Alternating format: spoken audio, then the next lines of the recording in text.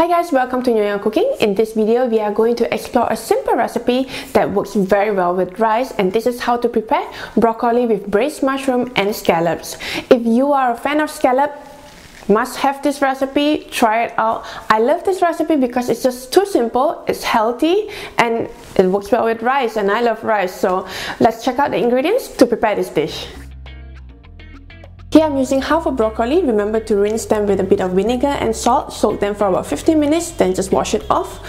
I also have some scallops, dried shiitake mushroom which I've already hydrated. So I've soaked them in water overnight. And remember not to pour away the water because you'll need this mushroom water which I have over here. A bit of shaoxing wine, garlic, oyster sauce, some pepper and salt to taste, and some corn flour. The first step that we need to do is to blanch the vegetables. So here I have a pot of boiling water. I'm adding a pinch of salt.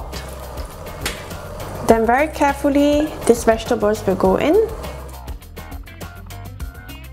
I would cook them about almost 2 minutes and then let this boil again and we're going to immediately transfer it to a bowl of water which has uh, some ice cubes and also cold water now this will actually stop the cooking process immediately therefore you get to see this really green beautiful green color of the broccoli it gets to be maintained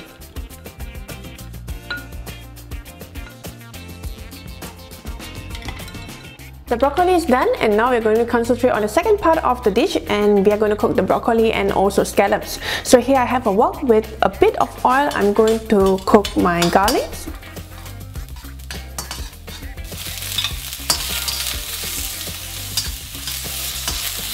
Then add the mushroom water. Now you can cook this at medium to high heat and allow it to boil. Once it starts boiling, add the oyster sauce. And do not forget the wine.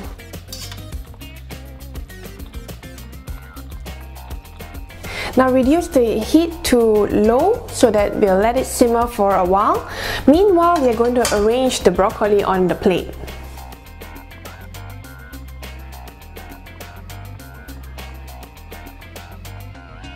The mushrooms have been simmering for about 5 minutes and now I'm going to add my scallops.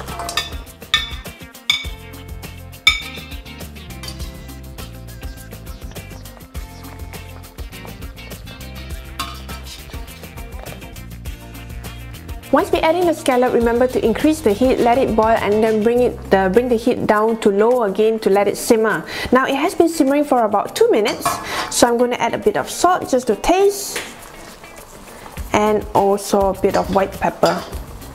Now that it is almost done, I've added a bit of water to the corn flour and this is when I'm going to add this to the gravy to thicken the gravy.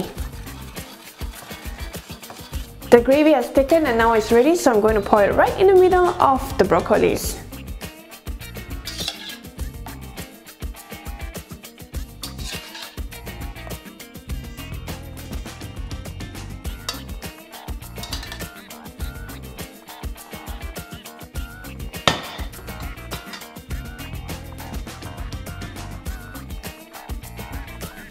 This dish is especially popular during the reunion dinner for Chinese New Year. It cuts through so easily.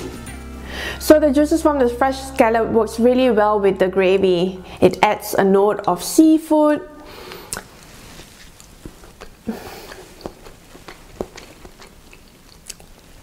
Just so good. And with mushroom, what more can I say? If you're a fan of mushroom, you're gonna love this because the mushroom is cook for a longer time and therefore it's really soft. Mm. This is chopstick looking good. it's so delicious. Remember to try this recipe and tell me what you think in the comment section below and of course on Twitter, Instagram or even Google+. I love to hear from you and don't forget send me your photos on Facebook once you have uh, tried these recipes. So till then I wish you happy cooking!